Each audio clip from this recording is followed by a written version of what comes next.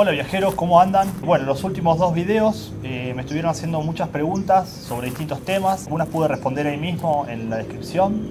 Y bueno, para los otros que no lo respondí o lo respondí de forma más, más simple, acaba este video explicando las preguntas en concreto. Juan Moe de Río Negro eh, me pidió consejos sobre vientos fuertes en ruta. Quizás un viajero de la Patagonia, un especialista en vientos fuertes, les podría explicar con mucho más detalle este tema, pero bueno, yo le voy a explicar lo que aprendí viajando en la Patagonia con mi moto. Bueno, lo que va a pasar cuando nos agarre un viento en la ruta, por lo general si el viento es de costado, supongamos que el viento viene de la derecha, ¿no es cierto? De la derecha nuestra. La moto, la moto se nos va a inclinar para la izquierda. Lo que yo hice durante mi viaje que me sirvió es tratar de poner el peso para el lado contrario del que va el viento. Supongamos que el viento viene de la derecha, bueno, nos tenemos que sentar no en el centro del asiento, sino un poquito desplazado hacia la derecha. Esta es una técnica que inventé yo, pero a mí me dio resultado. Tratar siempre de eh, inclinar el peso hacia el lado contrario del viento. Si el viento viene de frente o de espalda no vamos a tener ningún problema. Eh, el tema es cuando el viento nos pega de costado. Otra cosa a tener en cuenta, muy importante en el sur, es cuando nos metemos entre montañas o salimos de, de, una montaña al aire libre, digamos al descampado, es muy probable que nos embolse el viento. Hay que tener muchísimo cuidado con esto.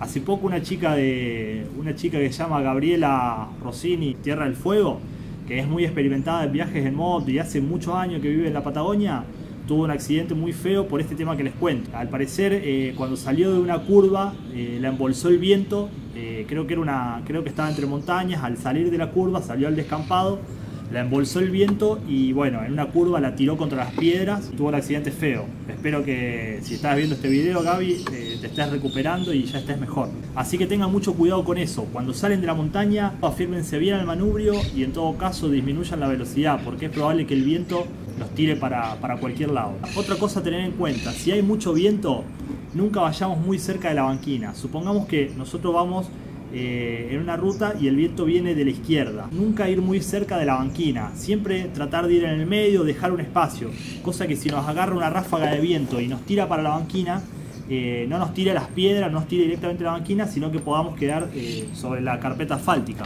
Eso fue lo que me pasó a mí en Río Mayo. Yo iba muy cerca de la línea blanca de la banquina. Y si bien no había viento, me sorprendió una ráfaga fuerte y me tiró la banquina y destrocé la moto. Destrocé la, rueda trasera de la moto y corté como 7 rayos. Así que tengan en cuenta eso, nunca vayan eh, muy cerca de la banquina. Mientras más cargada vaya la moto, más viento va a embolsar. Eh, fíjense que bueno, las motos de viaje tienen valijas laterales, baúl, algunas tienen bolsas. Eh, eso también es, es, algo a tener en cuenta. Es impresionante lo que embolsa el viento de costado cuando llevamos mucho equipaje. El estilo de la moto también una moto alta, una, una moto de cross o de enduro, va a embolsar muchísimo más viento que una moto chica, que una moto más petiza. Eh, por eso yo no tuve grandes inconvenientes más allá de los que le conté recién eh, en la Patagonia con mi moto, porque mi moto es petiza, es gordita, es, es pesada eh, y el viento, no me, si bien me embolsaba, no lo hacía tanto como si hubiera ido en una onda tornado, por ejemplo. Bien, otra cosa a tener en cuenta cuando viajamos con mucho viento es cuando paramos a descansar al costado de la ruta, en una estación de servicio, en donde sea. Si es posible, obviamente, tratar de meterse en un refugio, eh, atrás de una pared, de un árbol, de lo que sea. Pero a veces estamos en el medio de, de la ruta, no hay refugios, no hay nada, y lo que tenemos que tener en cuenta es de dónde viene el viento. Supongamos que el viento viene de donde apunta la cámara ahora. Eh, la moto estaría en una mala posición. ¿Por qué? Porque el viento embolsa y la puede tumbar. Es muy probable que la tumbe. Lo que hay que hacer en estos casos es poner la moto apuntando hacia donde está el viento. Supongamos, como les decía recién, que el viento viene de donde está la, cámara. Bueno, lo que hay que hacer es esto. Poner la moto en dirección al viento. De esta forma el viento va, va a ejercer fuerza de frente, digamos, y el caballete va a poder aguantar y además no va a embolsar, digamos, eh, la, moto, la moto va a ser mucho más finita y no va a embolsar el viento, por ende no, no la va a tumbar. Les explico esto porque también tuve una experiencia eh, yendo para, de Río Gallegos para el Calafate. Eh, paramos a descansar, puse la moto de costado, es decir, perpendicular a la dirección del viento y me la tumbó dos veces. La segunda fue un colectivo que pasó, digamos, me tapó el viento y cuando desapareció vino con todo el viento de vuelta y me la tumbó. Eh, bueno, si ven el video van a ver que corté la palanca, la moto al caerse se me quebró la palanca, por suerte no fue la de embrague, por si hubiese sido la de embrague estaba mucho más complicado, fue la de freno, que bueno, no es tan importante. Eh, pero siempre tengan en cuenta eso, la moto de frente a la dirección del viento. otra de las preguntas. Eh, Spixona me preguntó, ¿cómo haces para sustentarte los gastos del viaje? Eh, ¿Vas trabajando a medida que viajas? Bueno, los gastos me los sustento vendiendo este libro. Un libro de viajes en moto por Sudamérica, por distintos países, Perú, Chile, Uruguay, Bolivia. Eh, este, este libro lo escribí junto a mi hermano Gabriel, Pablo Gabriel Imov. Y bueno, la venta de este libro es lo que me permite ir solventando los gastos a medida que voy viajando. En distintos lugares hago presentaciones, eh, la gente misma que me ve en una estación de servicio o que me pongo a charlar en la calle o distintas personas que conozco y les gusta la lectura o les gustan los viajes o les gustan las motos, me compran el libro y a su vez el libro se envía a todo el mundo a través de correo argentino. Mientras estoy viajando, mi hermano me da una mano y es él el que se encarga de hacer todo el envío porque imagínense que si si yo estoy viajando se me, haría imposible enviarlo. Así que bueno, este es mi libro que me permite solventar los gastos a medida que viajo y también, bueno, solventarme ahora que estoy parado en mi casa. Eh, actualmente estoy escribiendo el libro de la Vuelta a Argentina, que es mi segundo libro, pero bueno, eh, por el momento tengo este. Si a alguien le gustan los viajes en moto y quiere colaborar conmigo para que pueda seguir viajando, lo puede pedir y se envía a domicilio por correo a todo el mundo. El Menduco me preguntó cómo hago con el combustible. Eh, vio en los videos que no llevo bidones y le llamó la atención. Eh, en el único lugar que usé, que usé bidones fue en la Patagonia, que por ahí las distancias son más largas y encontramos estaciones cada 150, 200 kilómetros. La Patagonia sí usé unos bidones de aceite, los típicos bidones de Lyon de 4 litros, me resultaron suficientes.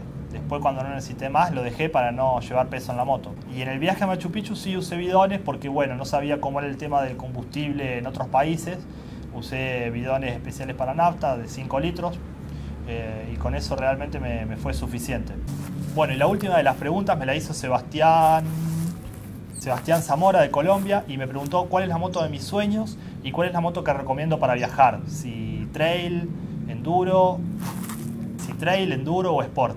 Bueno, la primera pregunta. Creo que no tengo una moto... Es raro pensar en una moto de mis sueños. Si bien todos los moteros soñamos con tener una moto, creo que no tengo una que diga esta es la moto que, quisiera tener. Tengo bien en claro que con cualquier moto se puede llegar a cualquier lado. Pero las motos que más me gustan son las trail. Eh, o las maxi trail. Por cuestiones económicas obviamente no puedo tener una, pero creo que si, me darían a elegir una moto, elegiría esta moto acá, que es la Yamaha Super Teneré 1200. Siempre, siempre me gustó esa moto. No sé si... Y no creo que sea porque es la mejor, ni sé si es la mejor en su segmento o no. Simplemente me, gusta esa moto, la estética, los colores, la forma, me encanta.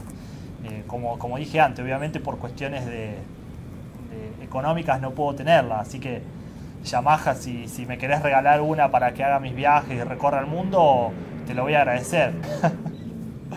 Nada, hablando en serio, siempre, siempre me gustaron ese tipo de motos. Eh, la Teneré, la, la Africa Twin, la KTM 990 Adventure, encanta también. Ese es el estilo de moto que me gusta y creo que es el estilo, entre comillas, ideal para viajar, respondiendo a la otra pregunta. Una trail la podés meter en el barro, en la tierra, en el asfalto, en cualquier lado, que va a ser con la que menos problemas va a tener eh, en ese tipo de terrenos. Creo que la trail es el equilibrio perfecto para un viaje.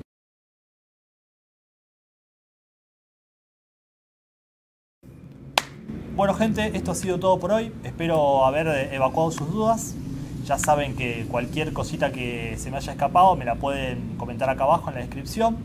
Eh, cualquier cosa que me, quiera preguntar también me lo escriben abajo. Y también le dejo en la descripción eh, cómo adquirir el libro Cruzando Fronteras. Simplemente tienen que mandar un, mail a librocruzandofronteras.gmail, pero les dejo todas las características, la cantidad de páginas, la foto, de qué se trata el libro y demás. Así que ya saben, eh, nada, nos vemos en el próximo video. Chau, chau.